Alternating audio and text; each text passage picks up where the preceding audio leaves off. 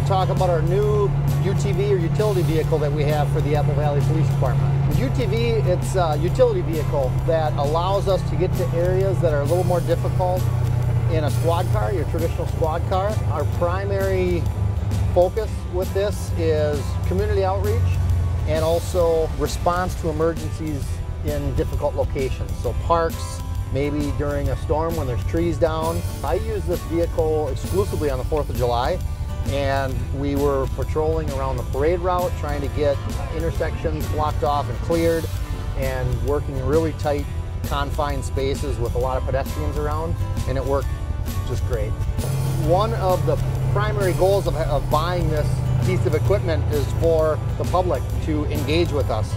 Um, our squad cars are out. A lot of people have been through our squad cars. They see them all the time. This is a new piece of equipment.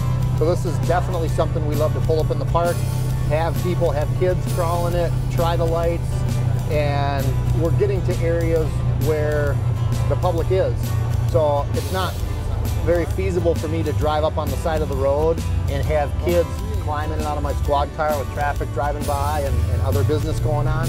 But when we can get into a park and get out into the middle of a park where some of our residents are, um, it's a great way for us to open the doors and connect with them. We have gotten a great response from it. Our community really loves that we're out trying to engage with them in different ways.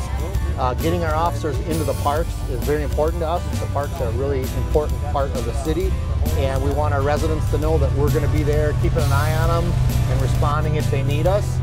And that's why we got it. We wanted uh, the public to be able to enjoy this vehicle just like we do when we're out there to serve them.